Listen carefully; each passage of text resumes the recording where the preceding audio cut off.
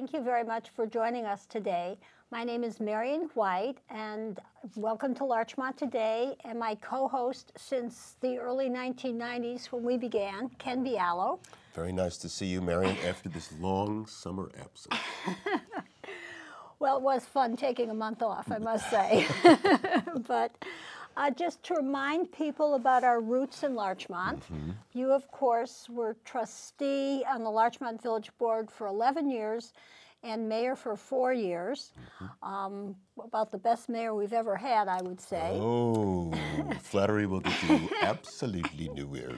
And uh, you also served on many commissions and um, committees and stuff. Yes, As did you, Marian. Now all being we, volunteer. Now we have to go back to Marian was trustee for two terms in the early '90s, and then the chair of the late and in certain cases lamented Republican, Village Republican Party in Larchmont. Yes. Yes, those did. were fun times. Those were fun times. Pick the candidates, try and raise some money, and get everybody walking around and talking, right? Well, didn't we, our first year that we were trustees was when Larchmont was celebrating 100 years, right? That's true, 1991. Right, and the celebration... We've both lived to, 100, to the 125th. Well, and I expect to be around for the 150th well, at here, least. Here's your thing then. Here's your yes. cue. Go to town. Uh, well, I just wanted to remember what a deadly hot day that was. It was, it was awful. so they're very smart now. They're having the celebration not in summer, but um, Saturday, September 26th, a full day of activities are planned. Um, it's going to begin at 10.30 a.m. at St. Augustine's Church where there will be a service and um, a coffee house will be open in the cafeteria. At noon, the entertainment will begin. And from 1 to 4, Larchmont Avenue between the Post Road and Cherry Avenue will transform for the inaugural Larchmont Day Street Festival with big trucks. Well, you were there when, did you start the we big truck We started big day? trucks, we started the dog parade, we started the art festival, yes. This is, it seems to me like what they're talking about is some sort of a consolidation of those three activities with an overlay of uh, extra activity on the basis of the 125th anniversary. But all that stuff was annual. I don't know whether I don't know whether they still do the dog parade. I don't know whether they're going to do a dog parade. In, well, because it's a very small area, right? I mean, it's just from the post road oh, to they were Cherry. very small dogs. well, not all of them. So, and then there's going to be a cocktail hour, and then there's a dinner cocktail, dance. Cocktail hour for the donors, for people who gave money. Oh, well, Which doesn't, they ought to get does that something. include you? Uh, no. no. um, so anyway, I, I think the weather's supposed to be good.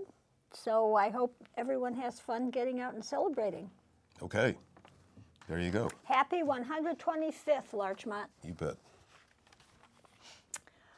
Um, and then the other news that I find interesting is that the LMCTV headquarters, they're proposing to move it to the Village of Mamaroneck's first firehouse, which um, has a lot of charm, but doesn't look like much of a house for a television studio. I think it would have to be modified quite a bit. But the exterior is very charming, and it would be fun to have a place like that. Now it's empty, right? Maybe they'll leave the exterior the way it is. Well, that would be nice. But clearly they'd have to so do a lot still, of work. it would continue to be charming, and then they could do things on the inside. that would be practical. and I guess we'll find out, though um, it seems like there's a, quite a long, convoluted process for actually having this go through and they need to have approvals by different government agencies. So it's going to take a while, but... That sounds like baloney to me. it's baloney. The Board of Control makes recommendation to the three boards. It's just a matter of putting it on the calendar and voting on it. Of course, in secret, because there are no Republicans left. It's only Democrats in the town board and in the Village of Larchmont board. But still, they should have a vote. Don't um, you agree? That we should at least have the um, you should follow the, the rules. appearance, the yes. appearance, the um, how would you describe it? Oh, it's appearance. Well, the formalities the of democracy. Yeah, yes. There should be some um, steps taken that make it seem like it's a democracy, even though it's not. Well, yeah, we need to keep the format of democracy yeah. so that We uh, need to keep up a good get front. rusty. We, we need to keep up a good front in case democracy ever returns to this area. Oh, well, hopefully in our lifetimes, but who knows? Anyway, so we may be doing a show from the, um, the firehouse. That would be sort of fun. Yeah, Um, well, that's the fun stuff. is it? That's all? Those are the only two items on your list? well, there wasn't any furniture sharehouse information that I was given. None. We rely on um, the great executive director of Furniture Share Uh-huh. yes. To keep us going. Yeah, she's not. She's busy. she's busy collecting furniture. Well, that is the point. Yes, it is. So you were interested in something about the county pump station? Hmm. Something about the county pump station. Open your wallet. Oh, you're that got be, my You're going to be interested also. oh, okay. So, many, many moons ago, maybe in the early 90s, we started work on the, uh, a project known in shorthand as inflow and infiltration. And the nature of the project was to fix up the sewer pipes. Why is that? They were old, and a lot of them had a lot of cracks. And when you have old sewer pipes that have cracks, when the rain comes down and the water goes seeps into the ground, the fresh water out of the sky seeps into the sewer pipes and gets pumped along to the wastewater station in New Rochelle. But that's more water than the plant is accustomed to handling Right. because ordinarily, if you look inside a sewer maybe only half of it's full, but the the Because of the fresh, cracks, the fresh water water, is water in. infiltrates Okay. Because goes of the cracks in the old. Um, one source, okay. and it overwhelms the plant, and the plant can't do the treatment to the level that it should be doing it, and is required to do before it dumps the treated water. Have you seen Bill Gates was drinking water that had uh, come from a sewer system and had been refined? And he was sitting there, I think it was Bill Gates, and he drank it. I don't know that this really, that it actually came from this refinement, this refining process, but that was a little scary. Glad that was in California and not here. Anyway, the other thing, the other end of it is inflow. What's inflow? Inflow is people who have um, sump pumps designed to take the rainwater And from I their have sump basement. I do too. And uh, a lot of people had sump pumps, so said the engineers, yet to be proved. A lot of people had sump pumps connected to their sewer outflow pipes so that that would be an additional source of rainwater coming up underneath the basement, Okay. gets caught by the sump pump, pumped over to the uh, sanitary drain, and then into the pipes, and then again off to the plant, also adding to the overload on the plant. So the plant couldn't uh, do the necessary treatment work when there's so much water coming into it. It's only, I forgot what it's rated for. I used to know the answer, how many gallons of water a day, but it was overwhelmed by maybe 10 or 20, maybe 30, maybe 30%. So what it was sending out into the sound wasn't as fully treated as it's supposed to be. So at that time, the county came down. We fixed the pump station. We fixed the pipes. We lined. This we was like lined- 25 years ago. 20 years ago, maybe 15 years ago. We lined the pipes.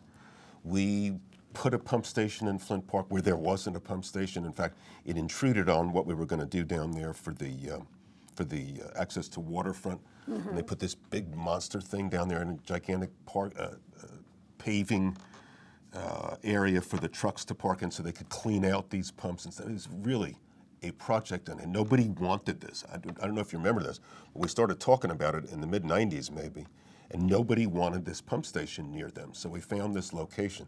I can't remember who came up with the idea of putting it in Flint Park. It might have been Ned. Ned Ben. Might have been Ned. He sort of threw it out, and then we picked up, I, I think, I, I don't remember. Might have been him. Anyway, so we got them to build it over there the ratepayers, the s- people who pay sewer tax to the New Rochelle Sewer District, paid for all this work. Not the people in the Blind Brook District, not the people in the Mamaroneck District, not the people up county. We paid for it. We had an argument that said, wait, wait, wait, wait a second, we're at the bottom of the watershed. Right. We get all the nonsense that comes rolling down that you all release, and then we wind up having to fix it up because it gets into our pipes. We wind up having to fix it up, clean it before it goes out to the sound. So how's about you make a contribution? I bet that went yeah, over that didn't, big. that- yeah, that didn't go over real well. And, and my recollection is, nevertheless, even though it didn't go over real well, that we did wind up with some grant money to help fund this gigantic project that went on. Who feeds into the New Rochelle system? New Rochelle wastewater plant. New Rochelle, uh, it's part of Pelham, and it might be Pelham Manor, or it might be the village of Pelham. I don't remember which. Part, a small part of the town of Mamaroneck and the entire village of Larchmont. So all the stuff goes over there for treatment. It's right where uh, Noam Bramson, the mayor in New Rochelle, wanted to put this fabulous Echo Bay development. I can't, it's on Echo Bay. Oh, It's right there on Echo Bay. I just can't imagine why anybody was thinking about it. Anyway, it was defeated. So now, so, so we signed, all the papers were signed, we did all the construction, blah, blah, blah, blah, blah. We're bouncing along, yada, yada, yada, yada. All of a sudden, and I say all of a sudden because it's now first in the newspapers, I assume the back office knew about this for a while. The DEC, Department of Environmental Conservation of the state of New York, comes in and says to the county, you have got to, you have got to completely clear up all inflow and infiltration by 2017, and you got to put upgrades in the plant, and who's going to pay for that? Kaplowitz, Kaplowitz, who is, uh, he's the county legislator, Michael Kaplowitz Okay. county legislator who was doing the talking to the reporter here said, "Hey, you know what? This could have, this could be twenty million dollars." And I, I saw this and I went completely insane. Really? You told us if we did what we had to do back in the in the 90s and the 00s that things were going to be fixed.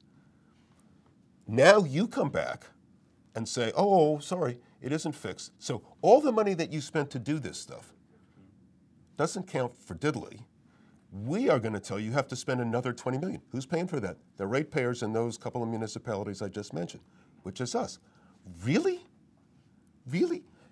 How in God's name can you come down to us and say this is a, I don't know, Kaplowitz says it's $20 million bill for this. By the way, there people say, oh, it's mostly infiltration. Baloney. Nobody ever proved that. No, nobody ever proved that. And we had ordinances here, and we had inspections. You don't get you don't get a you don't get a certificate to close on your house Right. until you've got the, the, the water taken care of in the proper way. You can't feed it into the sanitary. But uh, we have two dry wells in the backyard, and our sump pumps go to the dry wells. So I don't. When we built it, I was on the village board. When we built these things, I was on the village board. And I said, "We're not fixing up this house and tap into the sewer system. That would just be idiotic. The rule is you can't do it. Lead by example." So we, we put these. I mean, they're like big shells Well, right with holes we've had a dry well, you know, from like maybe 30 years ago that probably isn't working anymore. Yeah, they silt I up. They got to yeah. they got have them cleaned Yeah. uh, over a period of time. If if there's if the if there isn't if it isn't built the right way, you have to have them cleaned earlier. If it is built the right way, you still have to have them cleaned, but it's a longer Okay. period of time before you have to do it. So anyway, don't come down here and tell us that we owe we're going to be stuck with a twenty million dollar bill. We did what you asked. You want to come down here and fix this stuff up? You bring the money. bring the money. Otherwise, we're getting taxed twice to do the. I mean, the, the pump in, in pump station in Flint Park. Who knows what, whether that had been required if you had come down and said, "Well, we're going to come down here in a couple years and tell you you got to redo it anyway." Maybe that would have been the wrong thing to do from an engineering point of view. Right. And we could have saved the money that we all paid for that pump station, and then there's one over on, uh, um, oh, what's the name? It's, it's the end of uh, Flint Avenue. It's, this is government insanity. If you want this fixed, you bring the cash. I'm okay with cleaning the water. I think it's great. Sound is much cleaner than it used to be. And, and it's, it's swimmable. But there are some, some days that are better than other days. Oh, well, that's the way it is with water. Uh, well, I, yeah, I get that. But, uh, but really, if you want this done, bring the money. What George Latimer is our state senator. Right. Steve Otis is our, is our state assembly person. We have uh, Catherine Parker in the county legislature, right? We have uh, a governor who is theoretically from the county of Westchester and benefits by us taking this wastewater and cleaning it up, who, who by the way, didn't pay their taxes when, when they did all those add ons in their house.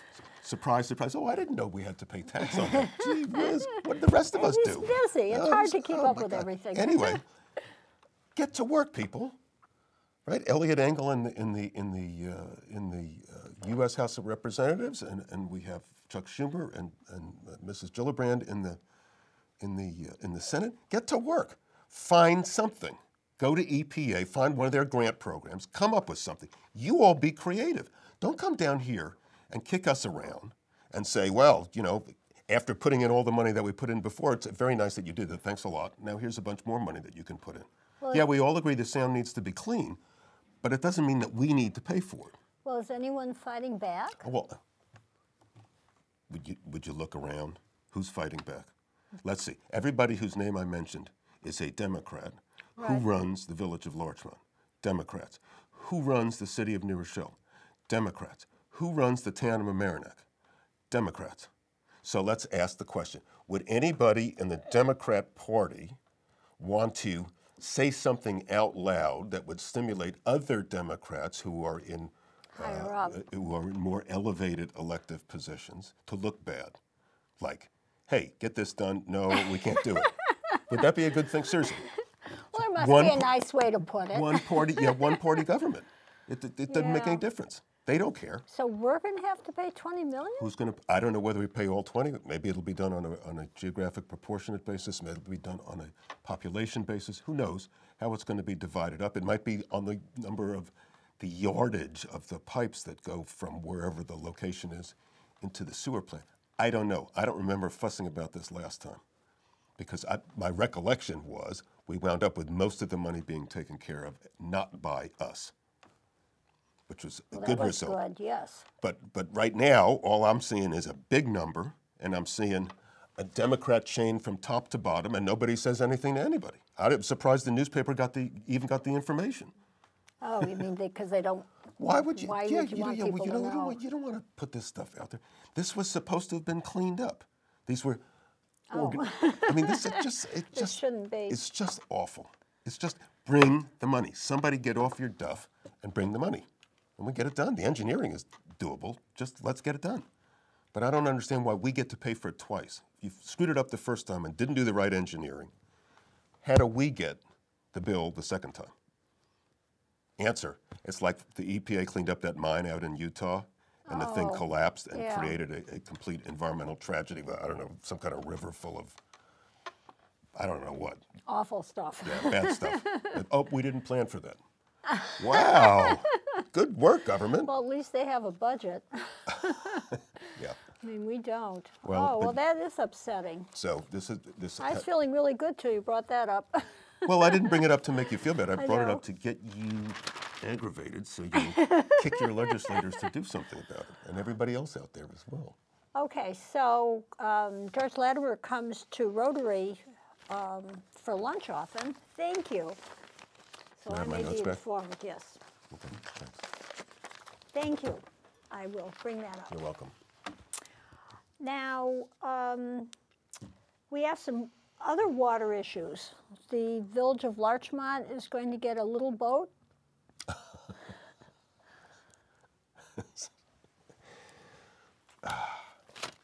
Yes. So there's a, there's this is the Larchmont Ledger, another august publication that emanates from our very midst. And at the end of a at the end of a of a uh, six, let's see, what would you call this? I would call this about a six paragraph article on the last village board meeting, most of which was about the work session, which of course, uh, at which the public cannot speak.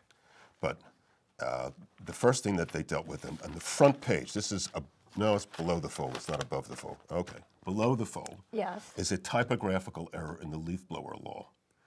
Oh man, you guys are good. They're really, they're on top of stuff. Seriously.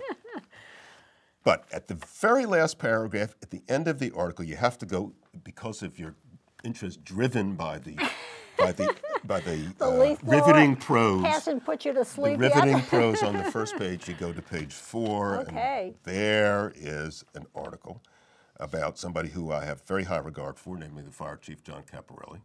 yes. But it's an article about, and this is this is government in action. It's great. It's great.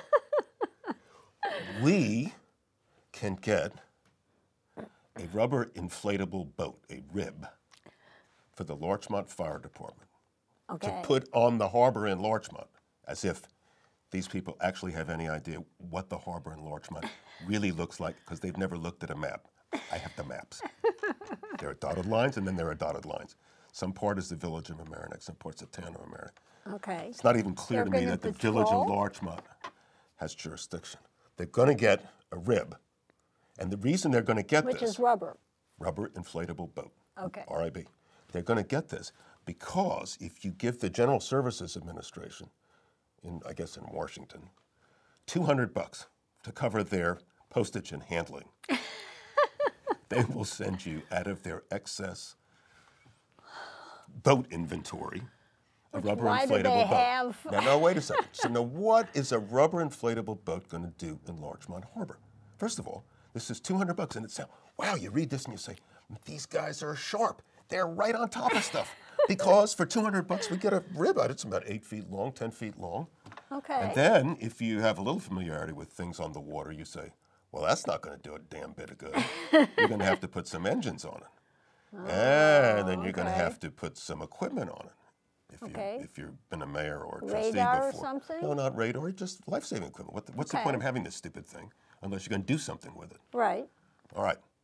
So, $200 doesn't begin to tell the tale of what it's actually going to cost. More equipment, engines, stuff, maintenance, storage, the whole nine yards. But then, here's what happens inevitably in government. I can tell you from my personal experience, government at this level. We have a boat. Man, this is great. We, we used it twice last year. But you know what we really need?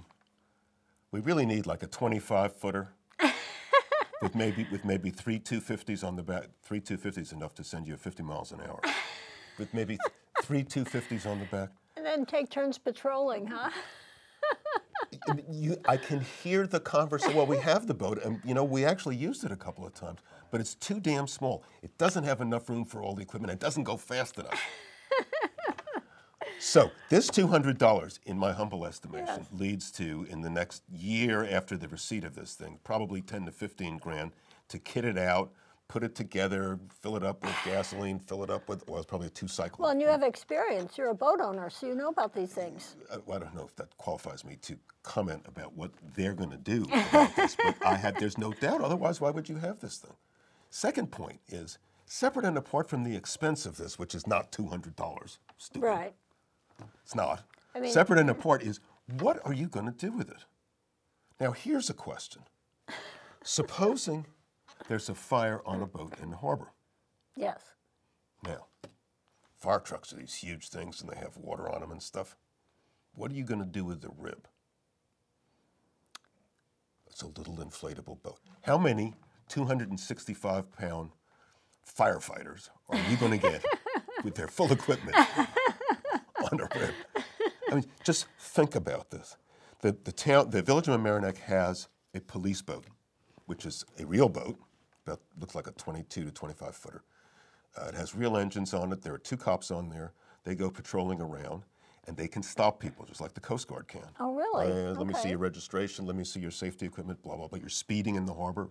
Either this harbor, they don't know it, but they can actually uh, summons people in pieces of what is called Larchmont Harbor because they belong to the village, and in Village Harbor.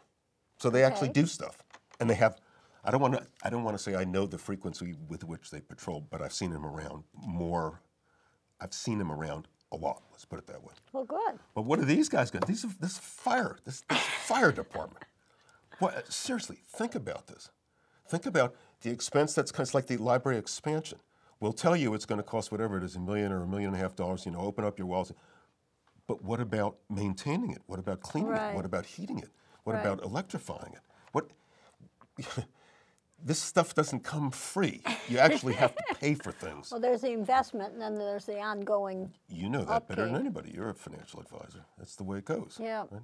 So here, I just thought that was really cute. Is that they, the, the newspaper reporter, whoever this person is, I'm not going to mention any names. The newspaper reporter apparently thought this was a point worth making, and all it does is just highlight the ridiculousness of local government and this particular group in, in local government. $200 becomes 15, I don't know, 10 grand, 15 grand, who knows what. Well, To do what? and say there's a fire on a boat, don't you need a pumper or something, a boat pumper or something? You don't, you can't, If there's a fire on a boat, you should have Boku fire extinguishers. Oh, you really have to sort of take You care of to, your you own. have to have, you have to have that. That is required equipment by the Coast Guard. Okay. And if you're smart, you don't have the number that they require. You have maybe two or three times the number that they require. Okay, so f- on a boat, it's really up to the, Yeah. But each you're not going to drive the truck over to the Larchmont Yeah. Yacht Club and get on a rib with three guys and fire extinguishers and run out to. But I- I just I don't see that. The boat will be in, under the water before you get there. Just don't see it. So, are we run out of time? Are we done laughing? Um, we have another minute to laugh if you want to make any I further don't comments. think this is funny. It's not funny. It's just Well, it's just silliness. preposterous. Yes, that's what it is. It's preposterous. Think it through, people. Yeah, Think you know, through. so you can do this little thing, but is there an end point? Think it through. Next time we want to talk about water meters versus water tanks. Oh, Just I put that look on your list. I have that stuff. And we're going to talk about, that.